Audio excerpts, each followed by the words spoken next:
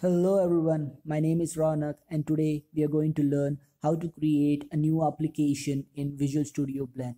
So without any further ado, let's get started. Alright, the first thing we're gonna do is create a new project. When we work with tools like Microsoft Word, you work with a single document or a file at a time. In Blend, you work with an entire project which is a folder that contains all the files which are necessary to create an application. Here we have started blend and here on the welcome screen I'm gonna choose the create a new project tab. The project dialog comes up.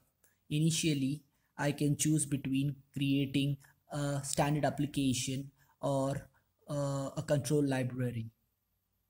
I'm gonna work with a standard application right now.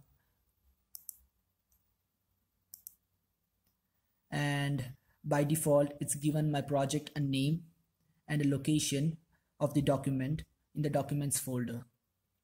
Also at the bottom you can see that I'm gonna use .NET Framework 4.7.2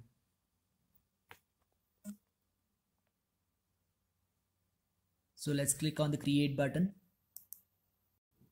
now our project is created for us uh, with the artboard at the center and the information which is filled in the panes at the sides. So guys, that's it for today. Hope you all liked the video. If you do, please like, share and subscribe to my channel. Thank you.